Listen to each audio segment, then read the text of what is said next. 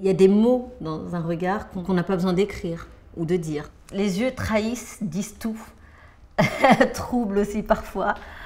Je regarde les yeux d'abord chez les gens et puis ensuite je regarde les mains. Et je suis absolument convaincue que le regard est le miroir de l'âme. Je pense qu'on voit tout dans les yeux. Je pense qu'on partage tout avec les yeux.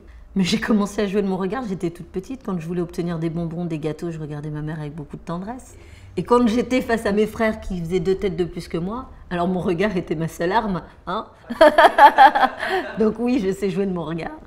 Je sais le rendre convaincant quand j'ai besoin d'obtenir quelque chose. J'adore cette phrase qui dit que l'impossible recule toujours quand on avance vers lui. Si on pense la femme comme je l'imagine, alors on pense qu'elle changera le monde.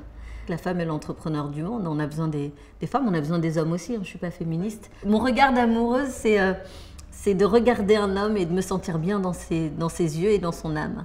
C'est euh, de me dire que qu'il est mon chez moi. Voilà, et que c'est là-bas que je me sens bien.